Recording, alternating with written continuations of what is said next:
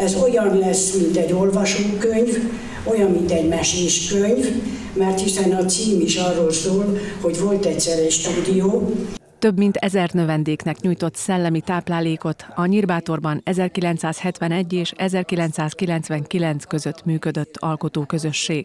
A képzőművészeti stúdió és alkotóház alapítója Makrai Zsuzsa Zománc művész, aki a legendás műhely munkáját egy művészeti albumba foglalta. Ebben egykori tanítványa Hermányos Mária tervezőgrafikus segítette. A kötetet a Városi Galéria megnyitóján mutatták be Nyírbátorban.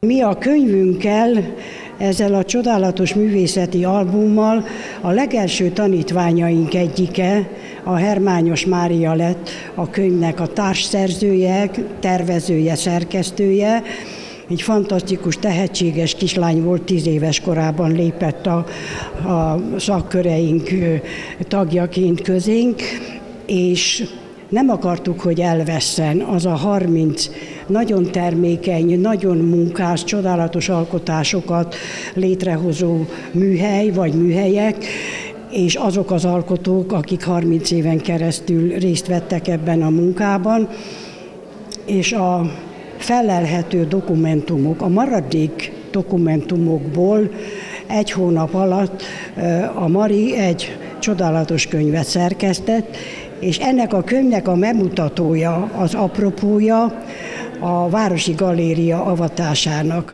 A megnyitón több tárlat is nyílt. Petrócki Ákos egyéni kiállításán kívül tíz az egykori stúdió művésze is bemutatta alkotásait. Ez egy mérföldkő a város művészeti, kulturális életében.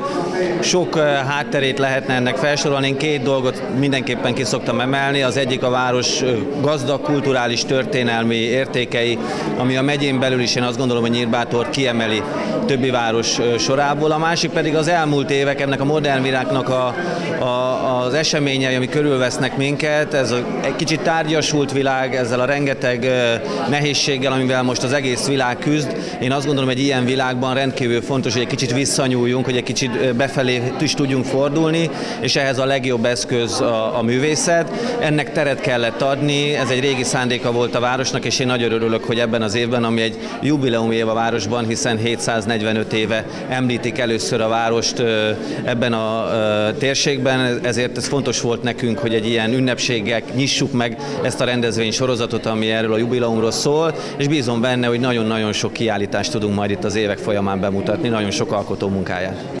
Az ünnepségen az is elhangzott, nem csak a város, hanem a Vármegye kulturális életében is jelentős esemény a Nyírbátori Galéria létrehozása. A képzőművészeti stúdió alapítója, vezetője, Makrai Zsuzsa munkássága pedig a Vármegyei Értéktár része több szempontból is fontos, hiszen egyrészt most ugye egy városi galéria az, amely megnyitotta a kapuit itt Nyírbátorban.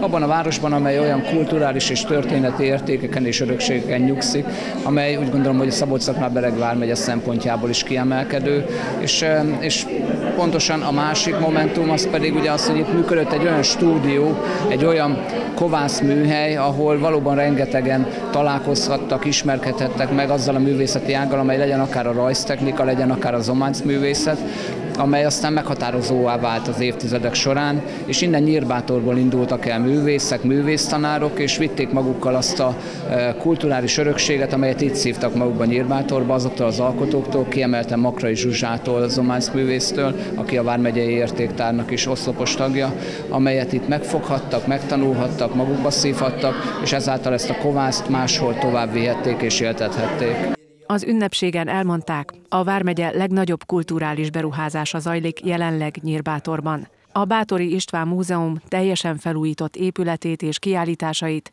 várhatóan idén október 13-án adják majd át. A kormányzati beruházás közel 2 milliárd forintba kerül.